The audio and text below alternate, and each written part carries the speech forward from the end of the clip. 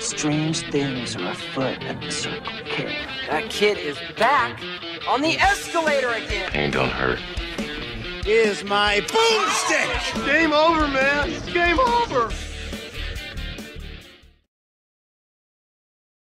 Welcome to the Bargain Bin. He is your host, Ben Mason.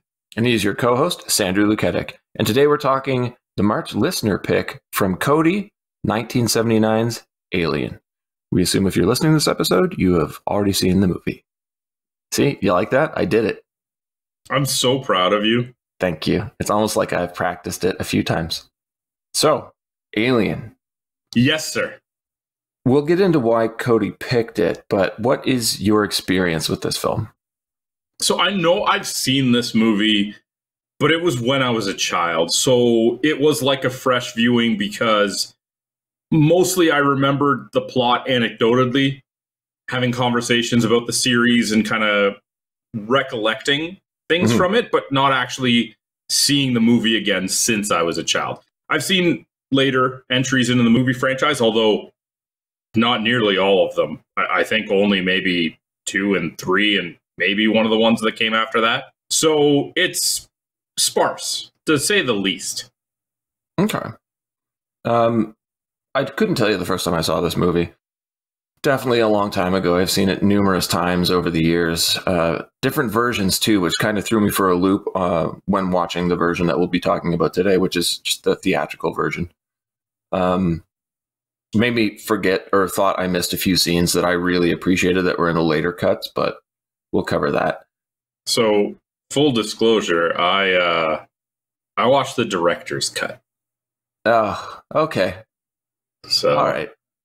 So okay, that no, that's good. That's fine. Maybe we should have discussed this ahead No. of time. That's that's all good because I'm going to mention a scene that I remember the most, which is one of my favorite moments that just wasn't in this version of the film, so I had to pick a different one.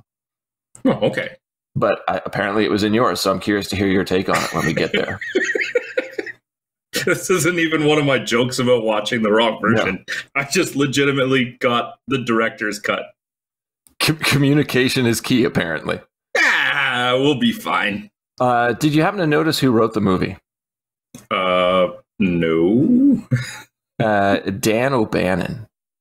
I know that you probably think that that's supposed to stand out to me for some reason, but you know it doesn't. Well, he going further back, he uh, co-directed a movie with my favorite director, who I assume you can just name easily. Starts with a J, ends with an on Carpenter. J. Jonah Jameson, Nailed it. John Carpenter. and uh, yes, and it was also written by uh, Ronald uh, Shusett or Shusett. I'm not entirely sure how to pronounce that last name, but Ronald wrote Above the Law and Total Recall, the screenplays. So we've definitely got some some sci-fi experts here, and I think it, it really does show.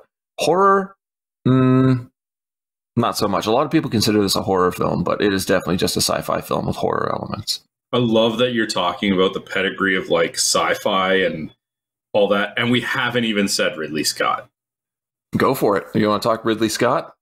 No, but just you know, talking about like Oh, sci-fi royalty. Huh? It is pedigree for sure. He is sci-fi royalty.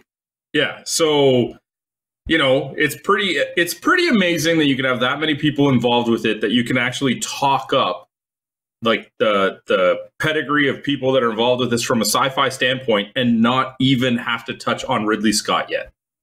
Have we covered a Ridley Scott movie before? I don't believe so. No, I'm not sure. Huh? I'm gonna look right now.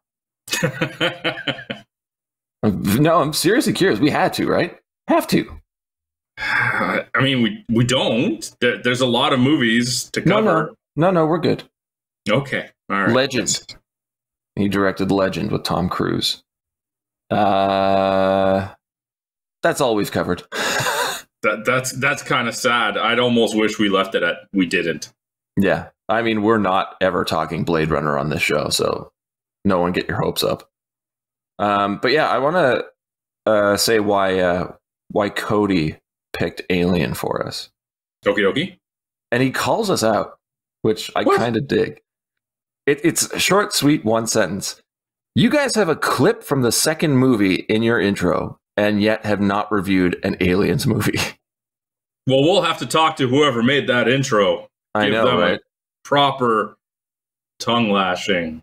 We also haven't talked Roadhouse, which we should do soon, especially with the new one out now on Prime. We haven't talked Mallrats, okay? I just picked a bunch of random quotes that I loved at the time. I didn't know where we were going to go with the picks. Okay, well, f- yeah, it's true, but fine. Now we have to cover Roadhouse, Aliens, and Mallrats. Honestly, I, I don't even remember what I put in that intro. So Okay, fine. I think the only one we might have covered was Army of Darkness. I don't even know how many else there are in there, okay? Just back off, Cody. Just back off. Thank you for your submission. tagline, Sandra. The tagline for this movie is incredibly famous. In space, no one can hear you scream. Probably one of the best taglines of all time. I mean, if you're alone in space, if you're with someone, I guess if you're you- if you're a member of a crew that has a total of seven people, there's six others that can hear you scream. yeah, and, and like you're in the ship, so the sound's gonna carry. But It will echo. Does the cat count, don't get me started on the cat, man. I got I got Jonesy? thoughts on the cat. Not a fan of orange cats. I have no problem with cats, but That- we'll get that- into it. That cat gets fucked up in this movie, and no one says a thing about it. Do you think this is the slowest opening credit sequence ever? Oh well, we're not at the opening credit sequence yet, buddy. Fine, let's play your game. Yeah, I saw what you tried to do there. Um, two people. You got it. Uh, John Hurt for sure, Correct. because we saw him recreate a scene from this movie in Spaceballs, That is correct. and I'm pretty sure he was the voice of the villain in the Black Cauldron. Yes, the Horned King. Good yes, job. the Horn King. Is, was that it? Yep. Okay, sweet. Uh, Yaphet Kotto, Yep. The Running Man. Hundred percent. It was only that movie, right?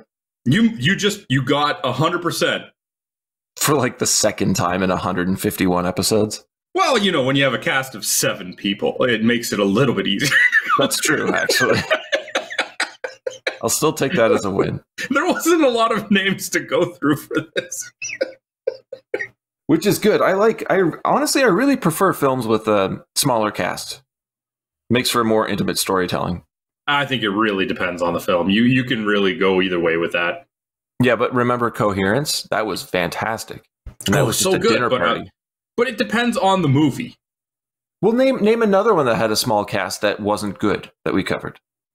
Well, that we covered. That's not fair. Come on. Yeah. no, no, go. I'll, I'll wait. Go for it. Just move on. You know what I mean in general, though. So, slowest opening credit sequence. Probably. A, a bit of foreshadowing as to the pacing of this film. Uh, yeah. Do I need to say this right now? I thought I could hold it back a little bit longer. No, go for it. I know it's been bugging you, so you may as well just get it out. This movie might be the king of slow burns. Yeah, I think There so. are so many scenes of nothing for so long. I, I think that's intentional though because of the way that the film ends. Yes, they are absolutely building suspense and things like that, but and okay, you know, I, I try to put myself into a bit more of a, a open mind when I'm watching these. It's 1979. Expectations, movie viewership, just everything would have been different. Yeah. But my God, is this slow? Keep in mind, this is also like two years after Star Wars came out, so Star Wars isn't slow at all. Like you don't need slow storytelling, but it was a creative decision for sure. I think they just went a little overboard here. They absolutely did because there are quite a few examples of times where they've used slow scenes, we'll call them, to build suspense, to build intrigue, and you get that effect. But then they carry it on like a Saturday Night Live sketch that goes on way too long. Yeah, it just kind of loses the impact eventually. Yeah, like you've you've already done what you set out to do. You've built suspense. I'm on the edge of my seat. I'm ready for a jump scare or something like uh, just something. And then you continue to do nothing for even longer. And it's like, okay, cut this down a little bit. This is a film that uses the cat jump scare twice. Like it it definitely overuses the same thing time and time again. Well, what else are they going to use? They're on a spaceship. There's mm-hmm. nothing else going on around them. There's only one alien. Yeah. What else are you going to do? You got to use some sort of scares. Maybe a burst pipe, but the cat makes sense. But you don't need multiple jump scares in a film. We get at least three. Two with the cat and one with the xenomorph doing jazz hands. Okay. Yeah. Cut like 30 minutes out of the movie, get rid of the second cat jump scare. Two is fine. But the thing is, you're drawing out the silences and what I, the some scenes, and it's not silence that makes it creepy. It is the amazing sound design. Because I don't know if you listened with headphones on when you were watching this film, but if anybody's listening and hasn't seen it, or they have seen the movie and really enjoy it, watch it again with a decent pair of headphones. It is much more effective. Okay, but if it's going to be this long and you take out the jump scares, what are you going to be left with? A movie that you have to watch at 1.25 speed. Yeah, like come on. So we get a bit of an info breakdown about the ship that we spend the movie on, the Nostromo. All right, we're talking about a movie. It's a commercial towing vehicle, seven crew, carrying mineral ore back to Earth. Thoughts on the visual effects here and the sets? Why is this ship so big? I don't know. Like it's I- a towing ship. I get that. I mean, it could be bigger so that it can tow other things, but it's like the size of a city. Apparently, they had uh, they they truncated that because they had a shot of what it was towing to make it look like it was over a mile long. Don't really need that, and they they they agreed and, and cut it. So if, if only they would cut more. Mm-hmm. I liked the shots in space. I thought they looked pretty good. Yeah, you know what? For 1979, this looks really good.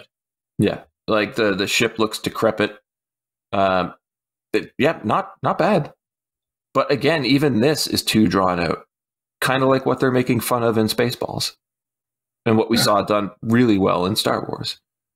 The sound design I thought absolutely amazing. Uh, just the sounds the commu- the computers make when they're turning on uh, really helps setting the scene for the rest of the film because this is the dirtiest, junkiest, oldest spaceship I feel we've seen in a sci-fi movie that we've covered, and I think that really helps set the tone for the entire film. Well, I don't know how many other movies we did where we saw spaceships to compare their junkiness, but sure. I do want to touch back on what you had said about sound design, though. Yeah. Because, like the computers booting up, there are so many sound effects that have just become kind of unanimous with this series. I Mhm. know recently I do a game night with uh, Josh and Alex from Pixel Opinions. And just before it, this movie was announced as the one we were doing, we actually started playing Aliens Fireteam Elite, right? It's like a Left 4 Dead game done in the Alien universe. Amazing. And like, I remember the first time we booted it up and I fired a rifle, immediately that sound effect was enough to put me into the alien like mindset because it's so hand in hand. So like the the pulse rifle from uh, Mhm. from the sequel from Aliens. Yeah. Hmm. But there's a lot of them. Like when you interact with a door, when you interact with a computer, like they have created their own sound effects that have become like widespread known and associated with this franchise. And it's so wonderfully done. I love all of it. What I don't love really is the crew. Um, they awaken from uh, stasis. Apparently, you have to wear minimal amounts of clothing. Not really sure why. What do you think of the crew? I'll, I'll, I'll run through who they are. We have the captain, Dallas, played by Tom Skerritt. Okay. I got so many uh, Kurt Russell, the thing vibes from this guy, especially when he's off on his own in the uh, mother room. Yeah, listening to classical music. Yeah. It just made me think of Kurt Russell in his tower playing chess with his computer. You got the beard, you got the kind of preference to a bit of solitude, like quiet protagonist. I, I got that vibe. I don't know about you, but it, it felt very strong in this. Oh, definitely it did.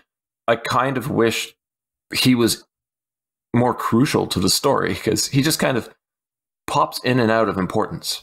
Oh, they're very, very different characters. Like Kurt Russell's character gave a damn. this guy seems like he can't be bothered for most of the stuff that's going on around him. Well, Kurt Russell's just amazing in everything too. He makes the characters fantastic.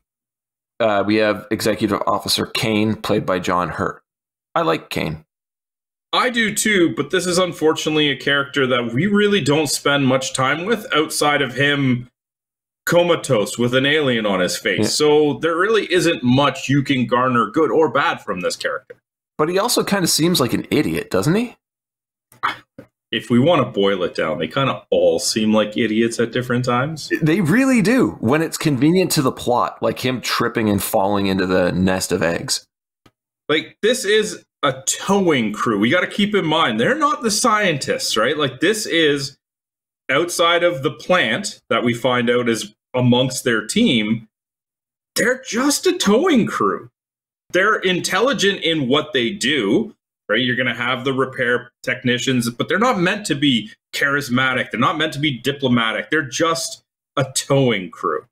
Which leads me to Ripley, played by Sigourney Weaver, who's a, a warrant officer.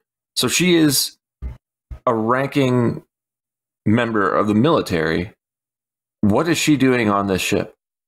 Yeah, see, I was kind of curious about that. I would have understood if they had kind of played it up.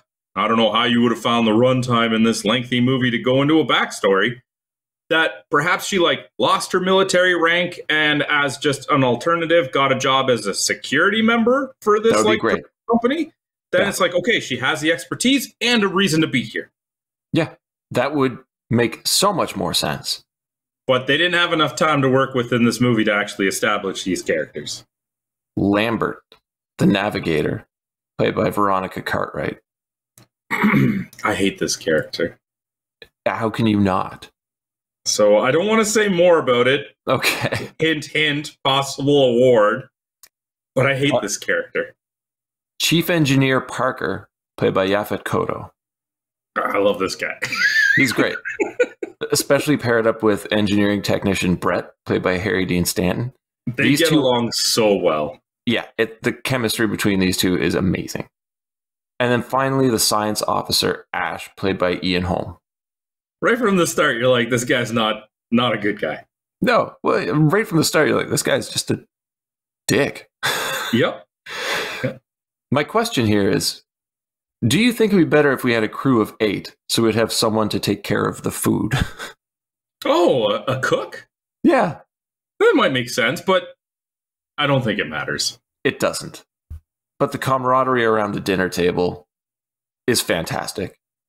Uh, as you've already stated, and I've agreed with you, most of these characters are idiots, but what a great way of building character relations for the viewer.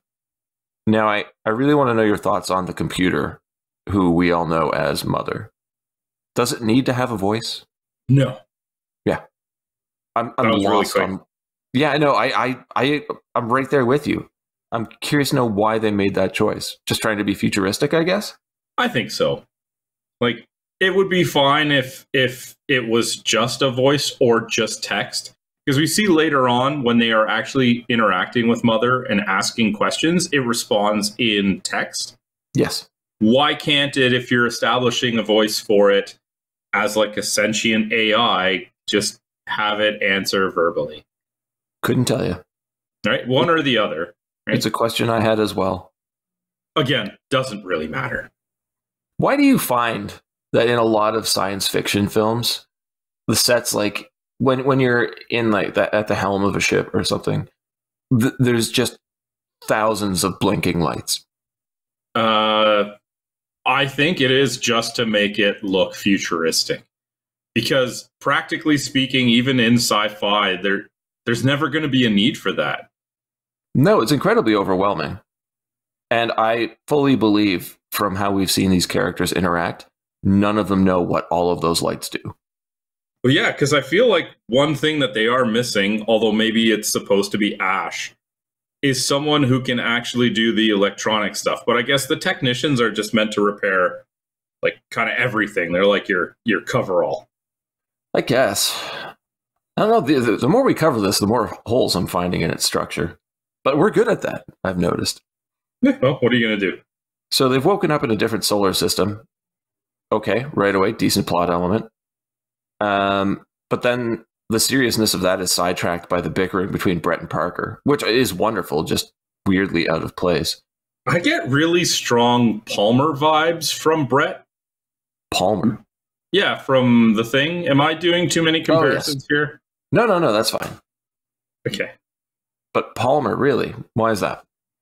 I don't know. It's just this personality. Like, it's a very jovialist character, goofing around, not taking too many things seriously. I think wasn't Palmer like the pilot or something like that? There, like, just kind of they're they're they're perfect, like everymen on The these. guy in the the guy in the background who pipes up when he needs to. yeah, It works.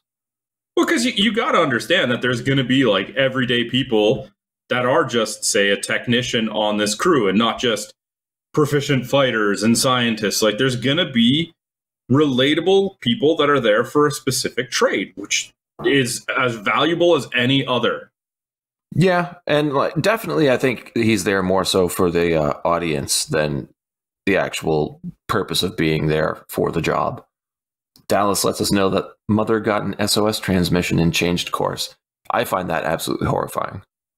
Knowing that like you go into stasis because you're heading back home and you wake up completely off course.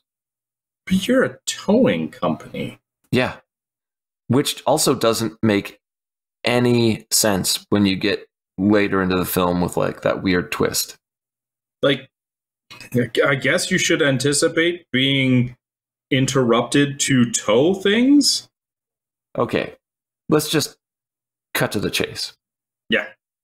The whole point of sending them to this planet was to secure an ALF. We were chatting about before recording, alien life form, Yep. as a specimen to bring back to Earth for study. Yes. They seem to know that it's insanely dangerous and practically unkillable. Why not send, you know, a team of people, like soldiers, with maybe a couple random average Joes to use as hosts and do it that way? Uh, to be crass, I think that without any further knowledge on it, you send the most expendable people so that at, at worst it can be recon. Makes sense. Do you think that's why they sent an android replacement for the uh, science officer? Of course. You don't want to risk anybody that you actually hold of value. Yes. So, like, this entire crew are guinea pigs. See, I think, well, yes, they are, but I think they sent the android because it can't get infected.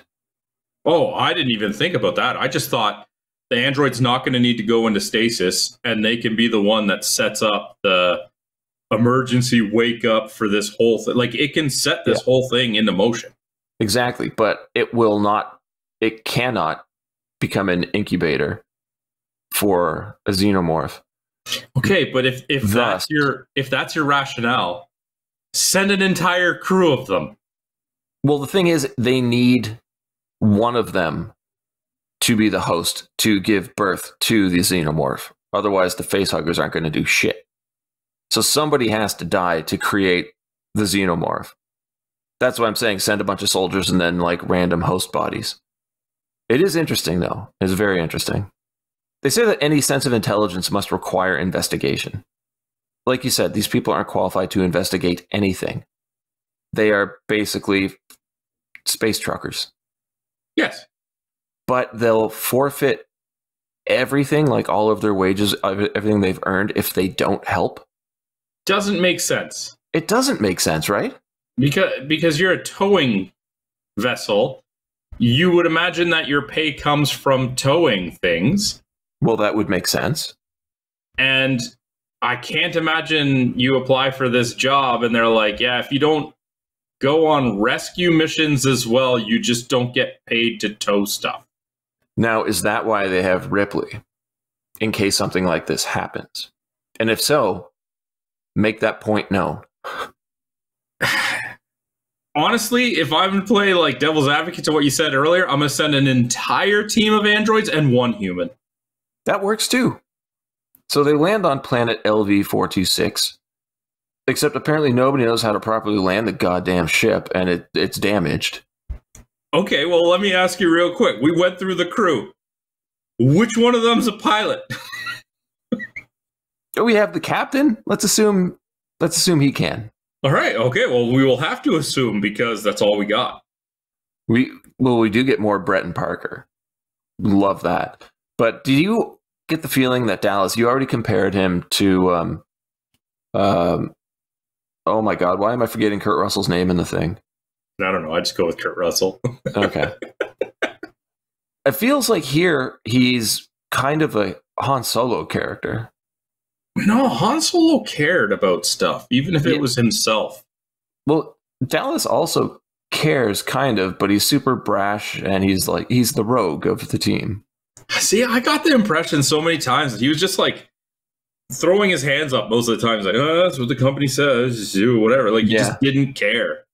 Yeah, he does Not, not that he didn't care, but that like he wasn't going to get involved. It's like, just do what we're told, whatever. Next up, we get a really short scene where Ash psychs himself up before people leave the ship. Why? Well, because he knows that things are about to go down. Why would an android need to psych themselves up and like jump up and down and like pump their arms? With the later reveal, it makes no sense. But I guess we're not supposed to know he's an android yet. So they deliberately make us think he's just a human being, a regular human. But then when you rewatch this, you're like, well, that's just f- really fucking cheap. It's a really cheap misdirect. Yeah. And you know what? There's nothing wrong with chopping up as that one time. Fine. The movie is trying to misdirect us. Yeah, and I mean they're doing it for a reason. I get it. At the time, I don't think anybody expected this to like hit a home video platform by any means. Um, stereotypical exploring an alien planet scene. Not a whole lot to say here. It looks fine. Um, traversing the harsh environment. This is where Kane, Dallas, and Lambert find the downed ship. Um, are these the three people you would send? Who else are you going to send?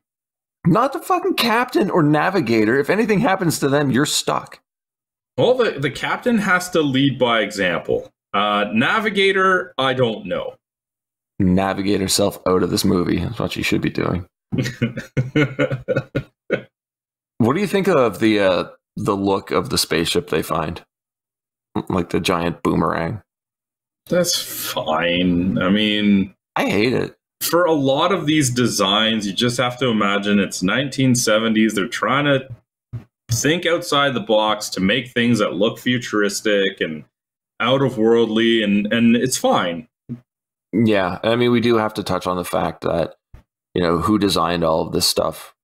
Uh, depending on you're talking to, it's H.R. Geiger or Giger, um, master of biomechanical art. It's all slimy, gooey, and disturbing. It, great artist, weird, weird, tiny human being. Um, Discovery of the pilot, I really enjoyed the uh, the space jockey, as he's known. No, I didn't know that's what he was known as. Yeah, in in lore, when you're talking about it, uh, he is the space jockey. Eventually, we come to know them as the engineers. But uh, this is a massive alien with a hole in his chest. Uh, absolutely love the design. But we cut back to the ship, to the Nostromo, or I guess the uh, shuttle or whatever. Ripley discovers that the message they received wasn't an SOS, but more of a warning. Why? And we get some. I don't know. like, if this was all set up, Block why sig- would they even get a warning? Well, I think the warning was coming from the downed ship because they they had to work on deciphering the language. That makes sense. Uh, some foreshadowing where Ripley wants to let the team know, but Ash basically says they'll find out for themselves when they get there if if they need to be warned. I'm like, okay, so this guy really is a villain. Yeah, you're not even gonna like run with this one for much longer. It, it's right from there. You're like, okay, how involved are you in this? I'm gonna say almost entirely. Completely. And this is what I was talking about earlier. Kane descends into the ship and finds that nest of eggs and just falls right into it. Just just trips. The eggs look amazing. But They do. They really do. here we get the reveal of the face huggers as one bursts out of a, an egg sack I'm and sorry. attaches itself to Kane's face. Listen, Kane, you're, an idiot. Yeah. If I was in this scenario and one of those eggs even remotely started to open, I'm not leaning my face towards it. I'm running out of there.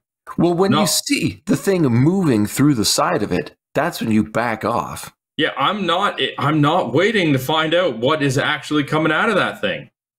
Whatever it is, it ain't the crew that I'm coming to save. No. it's it is horrifying though. And the sound design again takes the foreground and it really works to make the scene effective. Dallas and Lambert drag Kane back to the ship where Ripley does her best to follow protocol demanding they wait the 24-hour quarantine period for de- decontamination and Ash just lets them in. Yeah, Ash is just garbage. I thought it was actually really funny. Not supposed to be, but I was laughing at it. I do like how he attempts to feign concern. Right? Like his whole rationale for letting them in is that he doesn't want Kane to be harmed. And he was also following orders. But later on, you're like, oh, he didn't care about him. He just wanted to get the, the face hugger in there. Yeah.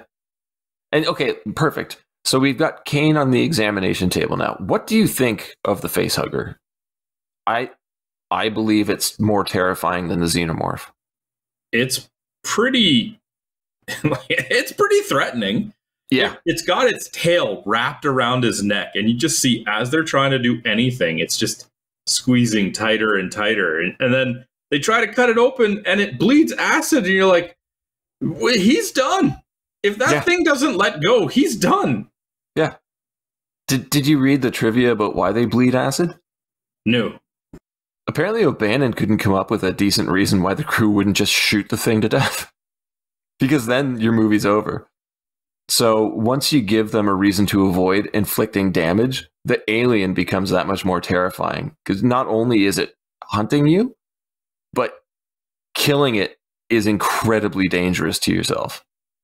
I mean, this movie would have been over as well if they had just left Kane there. Which honestly, probably should have done. But they weren't even in the room with him. What if he No. got attached like by the face hugger and they never stumbled upon him? The, uh, uh, that would be that would be absolutely hilarious if that was the case. Where's Kane? I don't know. Let's leave. Sure. Ripley confronts Ash about Kane and the alien. Um, I missed this every viewing until my rewatch this morning. I find it really interesting that the alien is making Kane's body more resistant to harsh environmental elements.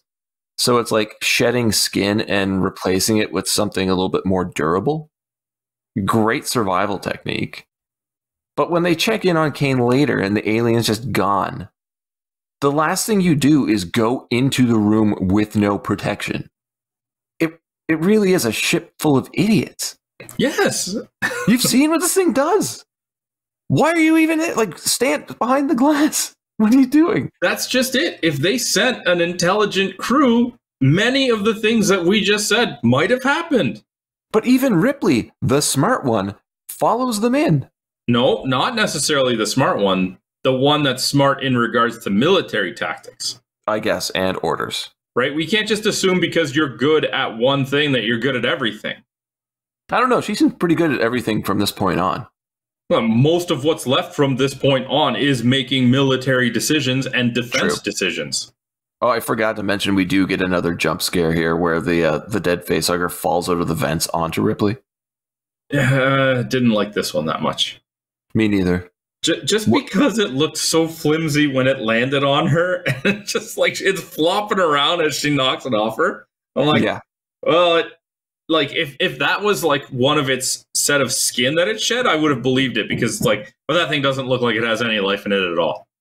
What What do you think about like? We'll talk some effects here. Um, some of them are amazing, and some of them are piss poor. and I I have to say when they um after attacking Ash later in the movie and they like they bring him back online when they're setting up his head on the on the table did you notice how bad that was? They're just setting it up so that his head is uh, like, through a hole in the table. yeah for one shot it's obviously a really poorly made up mannequin head that they're just like pushing on the table. Then it cuts away to i think one of the faces and cuts back and it's just ian Holm's head through a table. Yeah, it looks completely different and that really takes you out of the movie they're making do with what they got. I mean, in 1979, probably would have blown us away. Probably. I already mentioned this, but here's the reveal that the regular science officer, who has followed Dallas on the last five mm, jobs, was replaced two days before the mission with Ash. So yeah, now like there's not. I don't even know why we're continuing with this. And again, Dallas just doesn't care. No, he's pretty passive. You're right. I I, I missed a lot of this. Well, I, I I get it. There might be a point where he's like, you know, obviously, if I say something, the company this, the company that, but like he doesn't even ask questions. They replaced him. Why? I don't know. Like, No. he didn't even ask. Did you think that they had already left the planet at this point? Uh yes. Yeah. But I just it's because I was focused on all of the stuff with Kane Yeah. that I, I didn't actually go back to think, oh, did they finish the repairs to get out of there? Yeah, not really referenced. I assumed that this had happened a long time ago, the ship taking off. But they're doing it now, and then we learn there's a 10 month journey to Earth. And Kane's up and around now. Doesn't one of them suggest when the facehugger is still on Kane to just freeze them like that? Yes, it was uh, Parker. Yeah, and then isn't it Ash that's like, no? Yeah. So yeah, just another villainous moment from so with Kane up and around, we may as well all go into the room and hang out with him because that seems super safe and smart. no one asks questions. No one. It's like this thing was attached to your head. It was not letting go. We tried cutting it and it bled acid through multiple floors of our ship. it forced something down your throat and was feeding you air, changing the molecular construction of your body. I think one person, it might have been Ash, says, "Do you remember anything?" And he he remembers having a dream of being suffocated. And nobody asks, well, why did this thing maybe let go now? Yeah. Nobody says a thing. It's just, well, whatever. It's time for dinner. Well, the the dinner thing was more just like they were ready to go back into frozen state, and they were like, "Well, we should just eat before we do." Yeah. Undoubtedly, one of the most iconic scenes ever in a film. Yeah, I liked it better in Spaceballs. Really? I don't know. The chest bursting scene at the table is so good. I don't like how the xenomorph looks when it comes out of his chest. Might be because I'm watching a 1979 practical effect in 2024. But at least in Spaceballs, it was meant to be comedic and not look good. It looks horrible in this movie. when it scurries away, it literally is like just like they're sliding it across the floor, not even trying to make it look like it's taking strides. No, It's it's, like it's being pulled along a track. Yeah, it's not good. So I've read a few different things about this scene. Um, one that I believe for a really long time is that only Ridley Scott and John Hurt knew that that was going to happen. That like the chest bursting scene would happen. Oh, to get some genuine reactions from the other people. Yeah, uh, and a conflicting story where they had to film it twice because the first time it didn't burst through the shirt, and that's why it shows him after he like clutches his chest and starts shaking, and then there's that blood splatter. He just falls back, and his shirt is just covered in blood. It hasn't ripped or anything, and then the alien bursts out. I I read that that was left in because it really tried to show that the alien was ripping its way through Kane's chest and was having a tough time like birthing itself basically. I think that's pretty effective. Hmm. No, it's interesting. I don't think it really changes much in regards to the movie, but it is still interesting. No, when you just like an analysis of a scene. Do you notice that they do the most half-assed attempt at finding the alien, then just jettison Kane's body off into space? Yeah. They're not smart. They are so dumb that I feel we're misled in how long most of these people survive this film. They don't really, though. None of Once them. the xenomorph is fully grown, they don't last long. They do, though. Who dies? Who dies in this movie? All of them. No. Well, eventually, yeah. But who dies because of an alien in this movie? Oh, uh, Parker, Lambert, Kane. uh, Dallas. Uh, Dallas and uh, Lambert aren't uh, aren't dead until the ship blows up. Really? So you didn't watch the director's cut It was listed as the director's cut. because in that, well, maybe it's just the 25th anniversary version. Then in that, as Ripley's like running away, she finds Park. Was it Parker? No, it is Lambert and Dallas cocooned to the wall because they're going to be hosts eventually. Oh, And okay. and Dallas pleads for Ripley to kill him. huh. It's really dark. That is pretty dark. and one of my favorite favorite scenes. And I thought I just missed it in the movie. Well, now I don't know what version I watched.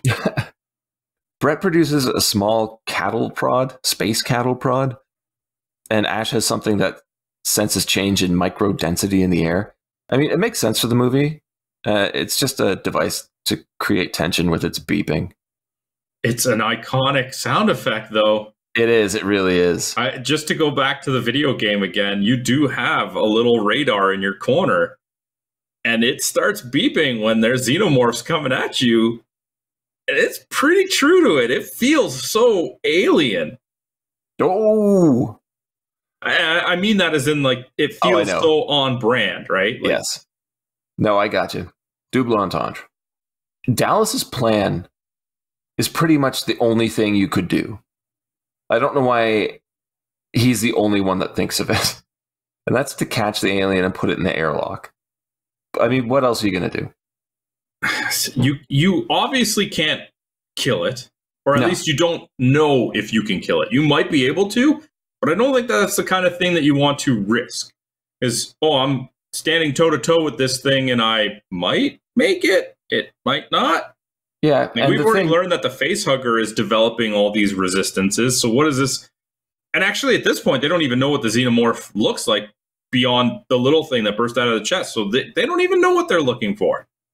But we have to assume that they know, or at least assume that this thing also has acid blood, right?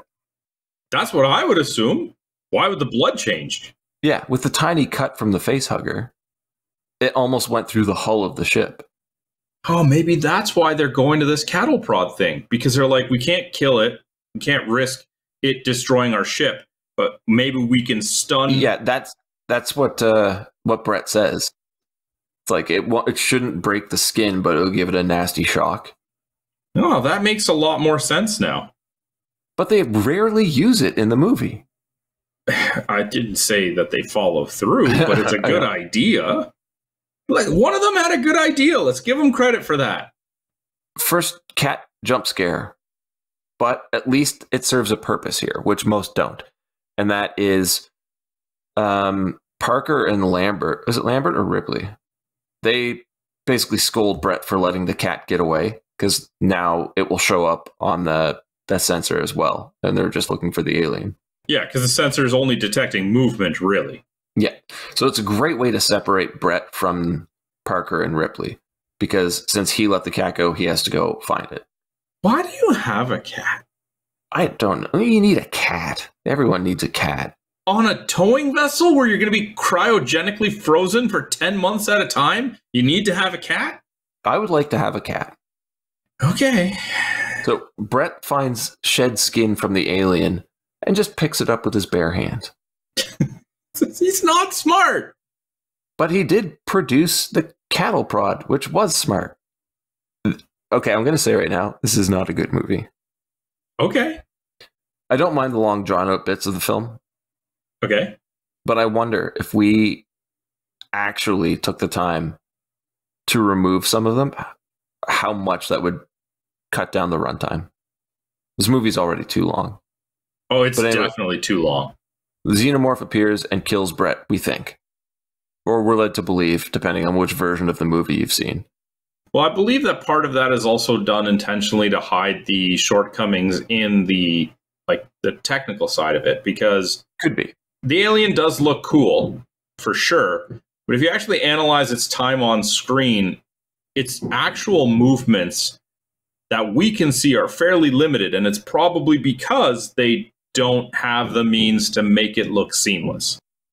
Yeah, that's true. I mean, the movie didn't exactly have a large budget, so try and hide everything. So you know, hide hide the potential flaws. Yeah, and I'm okay with that. I think that they did a really good job hiding what probably would have been inadequacies with the actual movement and look of the alien. You keep it a little bit more still and mo- like immobile, and you can get those Mhm. cooler looks. Oh, and that's right. I think this it almost abducts Brett, and it's Brett and Dallas on the wall. I think that's what it was. Because you don't see Dallas die either. No, Dallas, you see nothing. Yeah, just jazz hands. I think with Brett, you even hear screams, but I mean that could also be them being dragged away too. It doesn't matter. Doesn't matter. Well, It's time for a team huddle. Let's discuss. How is the thing so big? How do they know it's so big? That's what I was going to ask you. Because Brett saw it, but I don't think he had a chance to relay that information to them. No. Ash refers to it as Kane's son, which I found very unnerving. I didn't even catch that. yeah, he just whispers it in the background. I was like, dude. So what do we do? Cat and mouse it. I I I would not be going into those air vents. I'm sorry. tunnels. If I'm in their shoes, I have to believe that my mentality would be like, uh, when I think it's Dallas says it like animals flee from fire, don't they? Be like, maybe not this one. Yeah. I have no reason to believe that this one would. Before before we get to that though, Dallas is at the computer, and I find this hilarious because he's basically trying to Google what to do. And Yeah, the compu- and the computer's like, nope, does not compute. It really does make him look like he's. We already know he looks like an idiot and that he rolls over very easily. But if this is his go to, we're in a lot of trouble. Yep. But yes, Dallas in the air vents with the flamethrower. Do you find it effectively scary? I think that this might have been the best scenes for suspense and anticipation in the movie, especially when Lambert starts to see the movement on the Yeah. on the tracker, but Dallas doesn't see anything that correlates with it because this thing could be crawling outside of the, the vents, inside the vents, on the ceilings. It just really, really adds a lot of tension to it. Honestly, as silly as it sounds, when you see the little beep moving on the radar Mhm. and Dallas on the comm saying that he doesn't see anything, that was like maybe the single most like suspenseful part of the movie. Yeah, it is without a doubt the most tense scene this film can deliver. And I think that's why it's been mimicked so much. It's spoofed all the time. But yeah, the reveal of the xenomorph with the jazz hands looks horrible. it just don't have the hands there. If it was No. just the mouth open and the thing, I don't know what you would call it, sound hissing Yeah. at him, good enough. Perfect. That would be terrifying. But I do enjoy how it just abducts him when you find out, like in the other version, that he's cocooned to the wall. Because that makes this not just a standard monster movie where the thing kills everyone. It adds a layer of mystery. Why are they doing this? What's going on? Well, there's talk about how these things are. Ash talks about their purity and that they're just survival, right? Yes. I think I think this is when it's the dislocated or the dismembered head. Yeah. And you think about it, it's like, yeah, just killing this crew wouldn't be survival. Exactly. Survival is cultivating the race. Need to procreate. Yes. So like, some of this stuff is really well written. It is. Uh, specifically, the scenes between Ripley and Ash.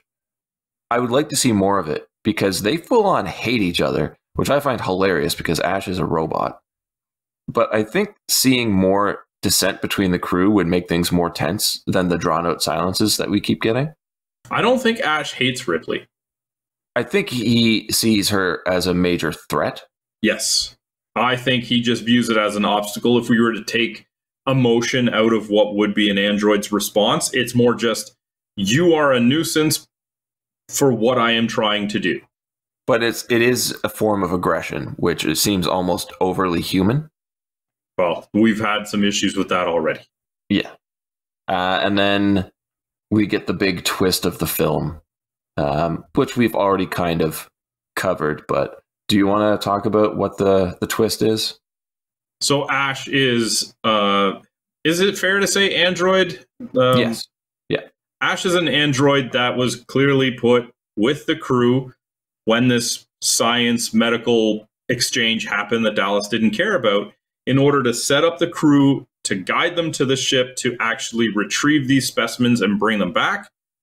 Most likely using an android because one, they can't be harvested or, or incubated, Mhm. but also that they can remove emotional response from the idea of sacrificing these people. Ha- having the uh, the the text pop up on screen that the crew is expendable seems kind of weird because you kind of want that crew to be infected or impregnated. But this leads us to the Ash and Ripley fight where he just beats the shit out of her. Well, yeah, he's an android. She's unarmed. But what? Like, can you explain the rolled up magazine? No, Yeah, I think he was just trying to use it to cause her to choke. I- right? Like even push down her own tongue into her throat. I guess. But you could just he could just choke her. He throws her around with one hand.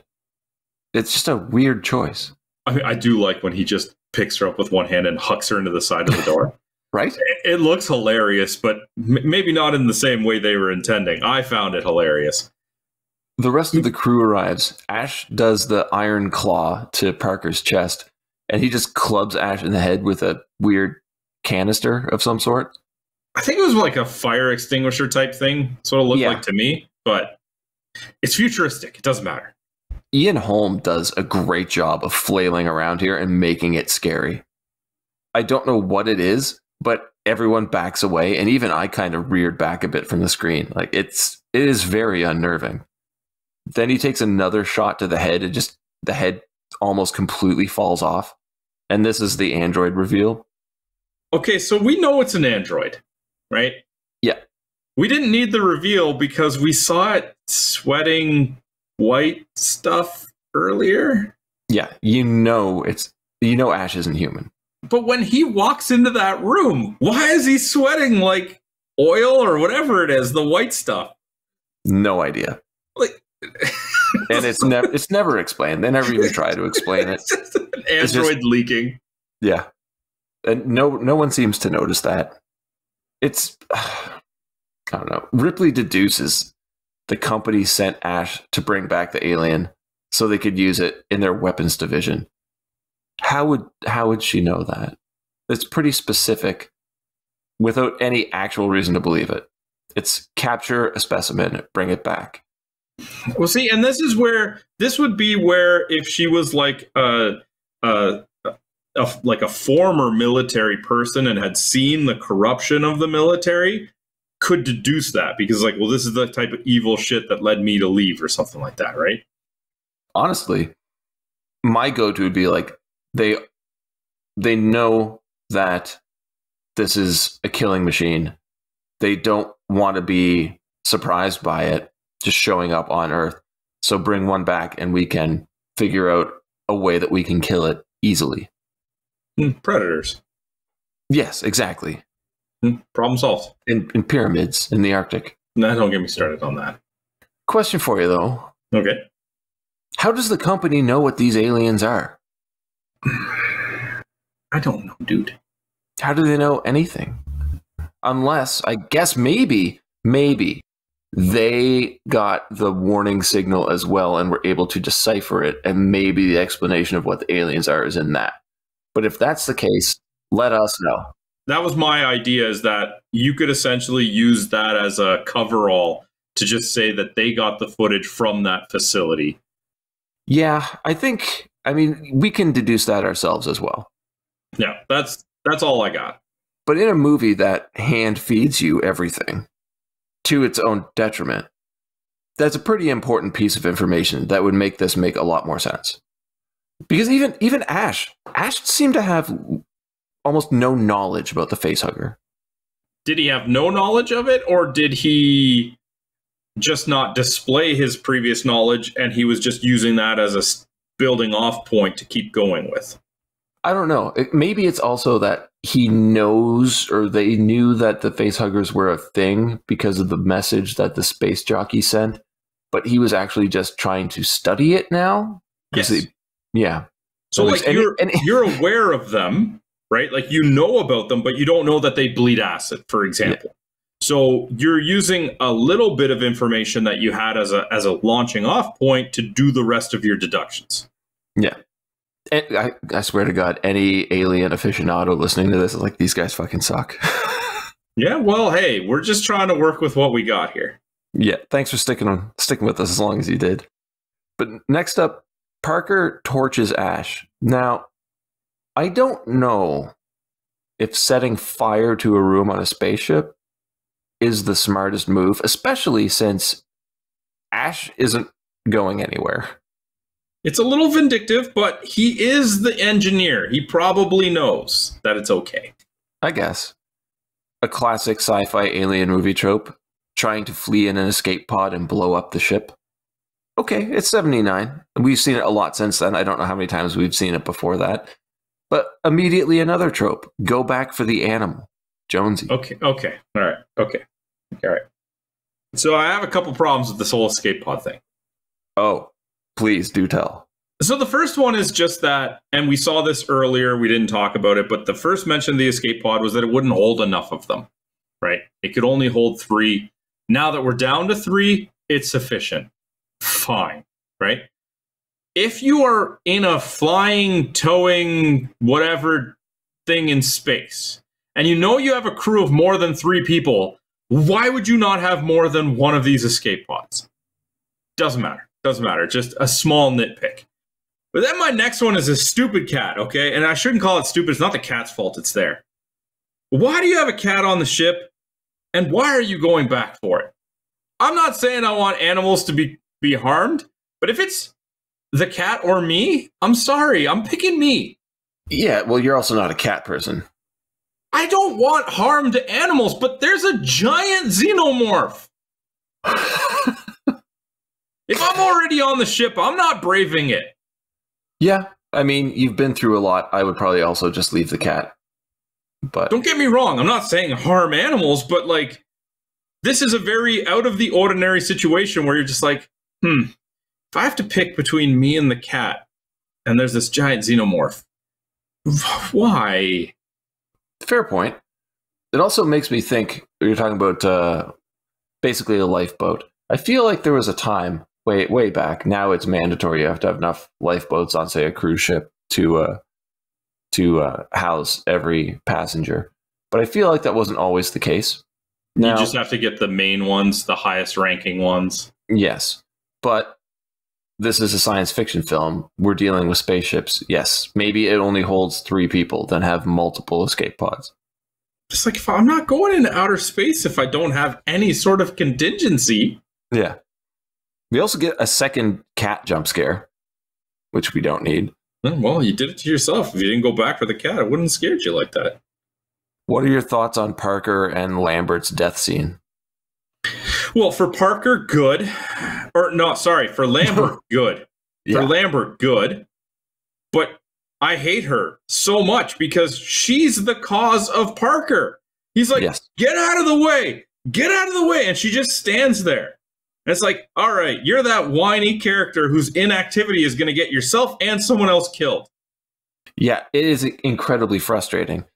And yeah, I I found her just standing there frozen in fear very annoying.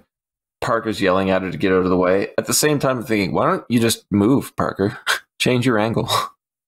Because he's doing the exact same thing. Whatever. I'm blaming her, not him. a decent view of the xenomorph finally. So Ripley initiates that self destruct sequence.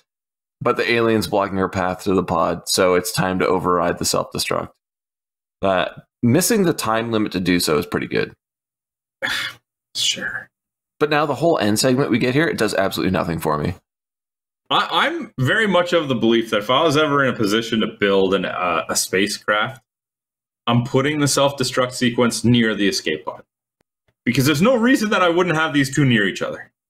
I would also give yourself more than one way to get to the escape pod. Even still, Maybe a second hallway. if I'm initiating self destruct, I want to be as close to an escape route as possible. They, that's why they say it's 10 minutes. It gives you plenty of time. I don't know what your problem is. Oh, okay. Give me an extra 10 minutes when I'm on the escape pod then, because I'm not chancing it. No, no, this is perfect. Why make things convenient? So the whole end segment here, like I was saying, it makes sense that it gives us drawn out scenes throughout the film, then slaps us with high paced, quick cut action at the end. But the action is pretty boring. Well, nothing happens. It's overly predictable, too. But they can't do it, is the problem. Because if you're actually going to have action sequences with this xenomorph, you're going to have to show it in motion, responding to this stuff, and you don't have the technology to do that. She flees to the escape shuttle, and Jonesy, stuffed in that cat carrier, is being thrown all over the fucking place. I don't know if you noticed that. Oh, no, I didn't. Oh, that cat gets messed up.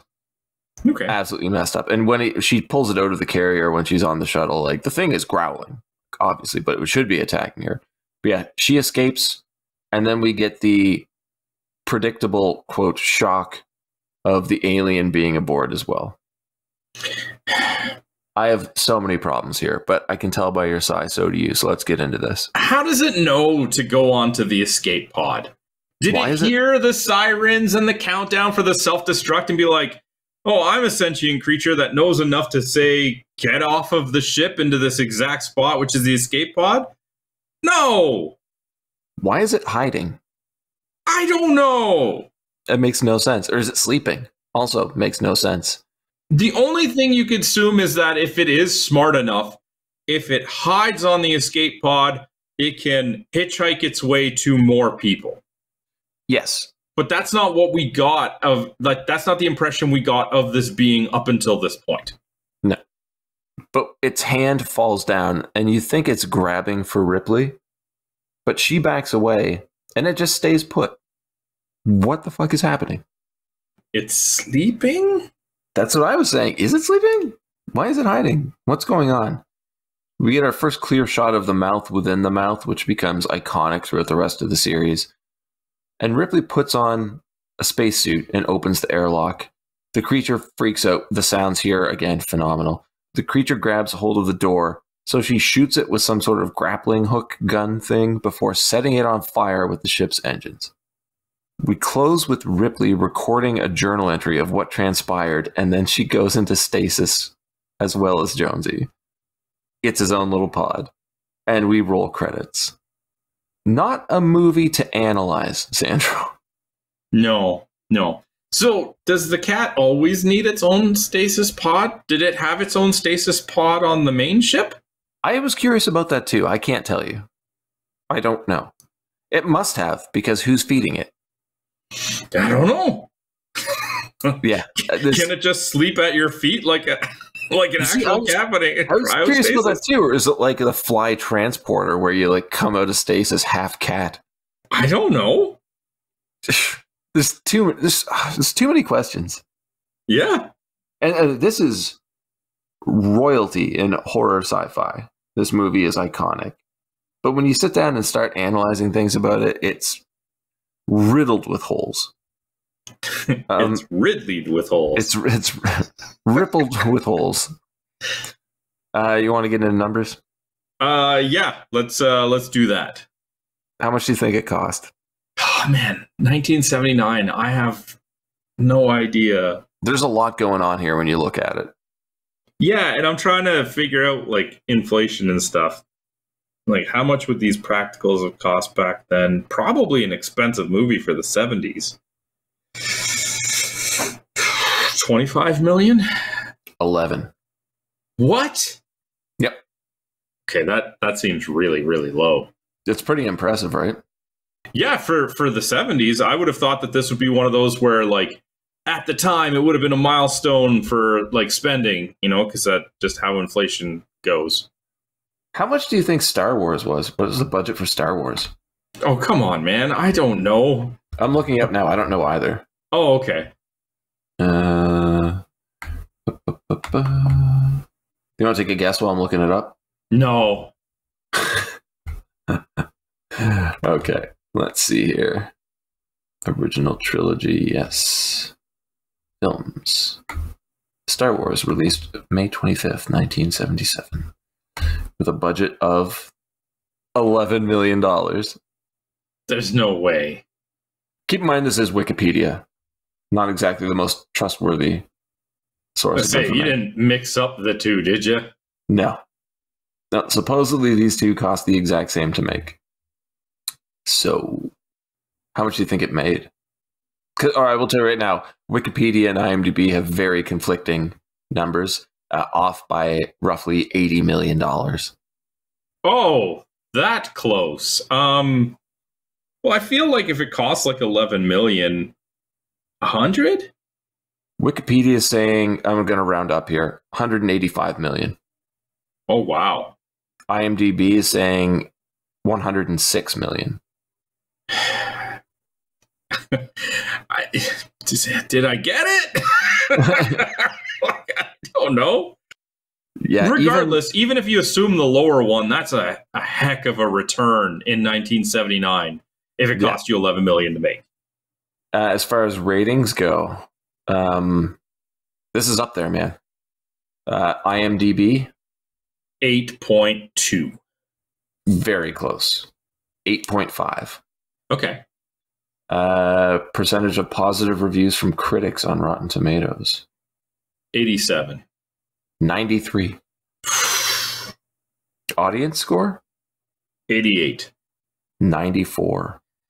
Okay. I'm surprised that it took them seven years to release a sequel to this. It took seven years? Yeah, it came out in eighty six. Wow, I would have thought that if it was even from a financial standpoint, the return that it got, they would have been a little bit more quick to pump out a sequel. Yeah, it's also weird how it, like the tones of like the genres of the films are completely different. Where this is more of a sci-fi horror, like survival horror film. Aliens is just a straight up science fiction action film. You've seen Aliens, right? It's going to be like the first one where I've seen I've seen the first 3, but I saw them a long time ago and I don't have the best recollection of them. That's that's fine. Probably should go back and re- revisit them now. I would love to watch Aliens if you're down. Yeah, sure. But uh, let me bring up Cody's awards here. Mm, yes, we have awards to do. So, his least favorite character, I think we can all agree upon, is Lambert. And his Oh. reasoning is I despise whiny, screaming, useless characters, and Lambert takes the cake on this one. Okay, Cody just earned a lot of respect in my books. yeah. The worst, right? Yeah, and uh and yours, Ben? Uh, Lambert. For the exact same reason. Okay. You? Oh, I picked Lambert. I said it earlier that it was my award. Yeah. Hon- Honestly, I was unsure immediately, but as soon as we had that scene with Parker where she was just standing there, I'm like, oh, she's this character. Mm-hmm. Ah, there's always one of them. Absolutely terrible. But mandatory, apparently. Yeah, apparently. Uh, what did Cody have for his favorite character? He has Jonesy. Kidding. Obviously, Ripley. She's the only one that wanted to follow the rules and not contaminate the ship, and she saved the cat. See? Okay. You? Uh, I went with Parker. Okay. I went from a different standpoint, not from the character so much as the entertainment value. And for me, Parker was the most entertainment I got out of this movie. Um, there was a good, like, just like a good personality there, a little bit more uplifting, uh, fun character, strong character. I enjoyed Parker more than anybody else. I also went with Parker, and it's because it's the most relatable character. Parker seemed like the most real human character in this movie. Um, funny most of the time, serious when it's being called for. Uh, you can see his connection with his best friend. Brett seems completely organic, realistic. Um, you actually feel bad for him when he meets his fate. It's he's just a great character. I loved him right from when they were like, "We need to go investigate this," and he's like, "No, yeah, no." oh, good choice, man. Good choice. What did Cody have for his favorite or most mem- memorable line? Uh, it's from Ash, Okay. and it is uh, when questioned about surviving the scenario, he says, "I can't lie about your chances, but you have my sympathies." This line was delivered in such a cold and soulless way that it was perfect. Um, that's actually the line I picked too.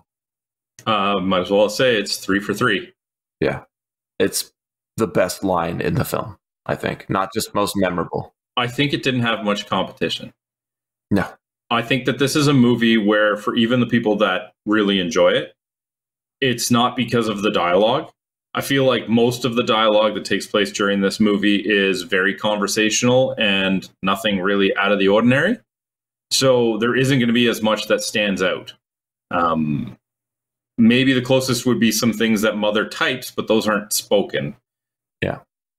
Again, not to say that the dialogue is bad, but it's not made to have anything that's really revolutionary.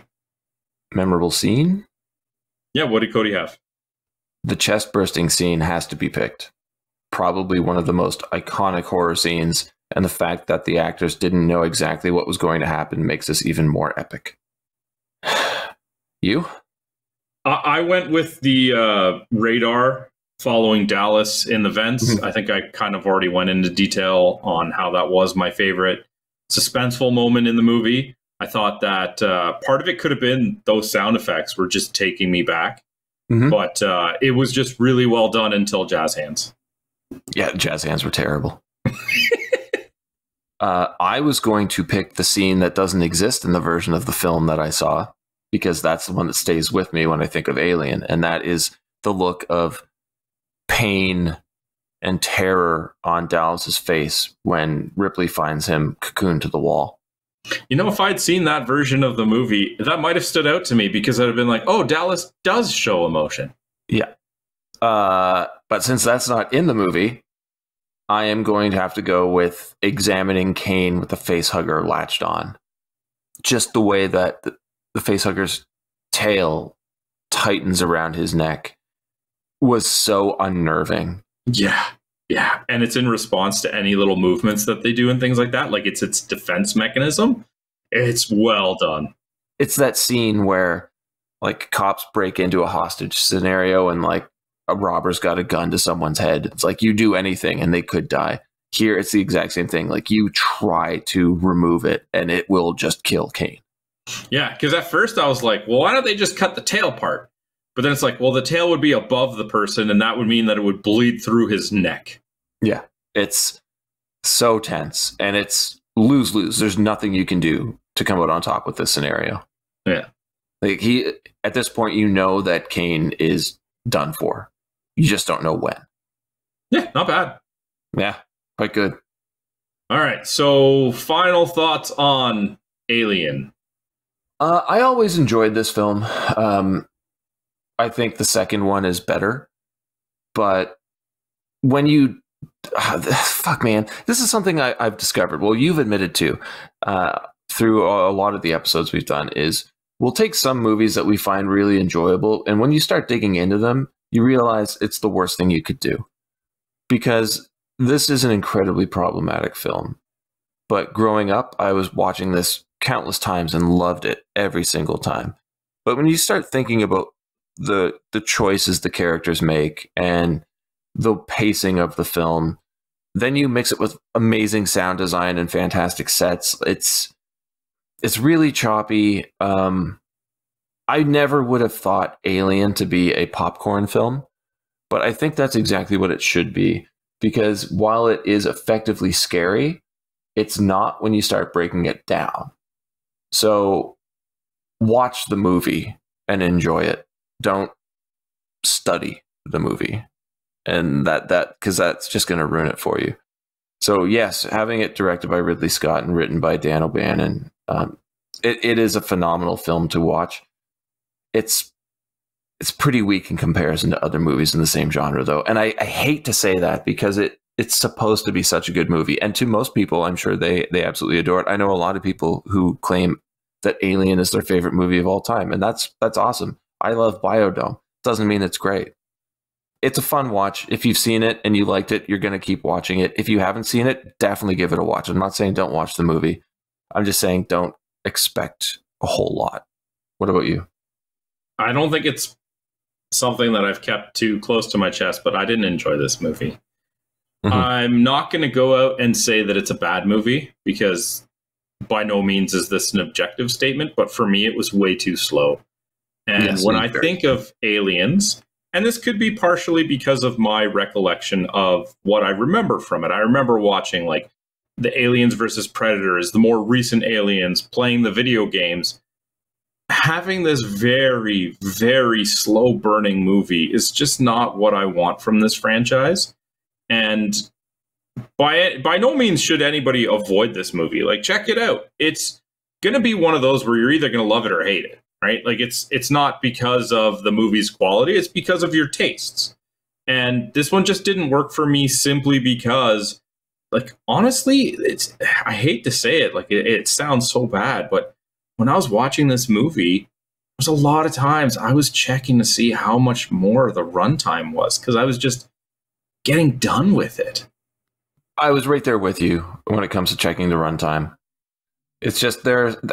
Maybe you'll agree with me on this. There are some scenes in this movie that are so good that time just flies by, and then there are other scenes that just drag it to almost a standstill. And you just you can't do that and have an effective story told. Not for me, anyway. Yeah. Okay. I don't think either of us expected this this result. No, no, I was honestly very excited when I heard that this was going to be the movie, and then it just didn't live up to my expectations. Um, and that could be a fault of my own, right? But it's kind of difficult when the franchise steers so vastly in another direction after to maybe superimpose some of those expectations on this earlier entry, and that's on me, and that's yeah. fine. Um, but yeah, it just it just wasn't for me. So yes, I said that this is more sci-fi horror, and that the next one is more sci-fi action. Uh, just the other day, they released a trailer for Alien Romulus. Have you seen that yet? No. It takes place between Alien and Aliens, and I have to say, the trailer makes the film look terrifying. Hmm. I'm very excited for it. It's directed by Fede Alvarez, who did uh, um, Evil Dead 2013. So we know he can do horror really well. I'm, I'm very curious about this. I, am really looking forward to it. I might actually venture out to the theaters for it too. Oh, okay. Yeah, high hopes. Okay, so that was our thoughts on Alien. If you'd like to share your thoughts, hit us up on social media. We are on Twitter at bsbargainbin, facebook.com slash bsbargainbin, bsbargainbin.com, and youtube.com slash at bsbargainbin. As always, t-shirts are available on our Redbubble cha- uh, page. Links are available on our website. Ben. Yo. I don't think we've had our fill of aliens, dude. Oh, God. So for my pick, we're going to watch a movie with a lot more aliens. Is it aliens? No. You're going to hate me after this, but we're going to watch a movie with about three aliens that come down to Earth to try and pick up women in. Oh, God. Earth Girls Are Easy. I'm going to show you something that's going to totally change your life completely forever. She's a brunette from Southern California.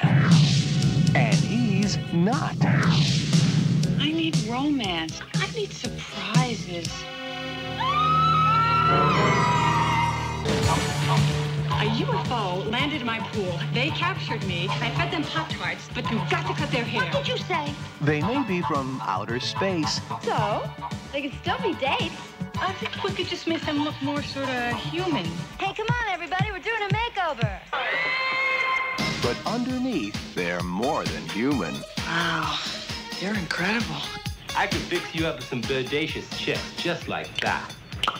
I can't believe you're renting an alien in front of all these people.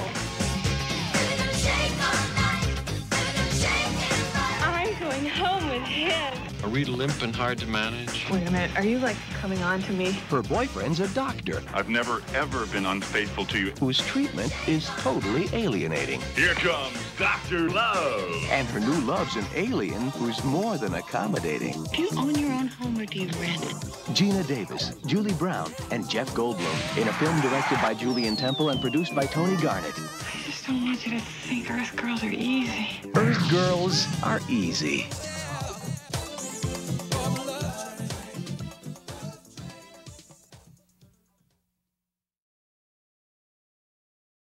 Until next week, have a good one. All the best.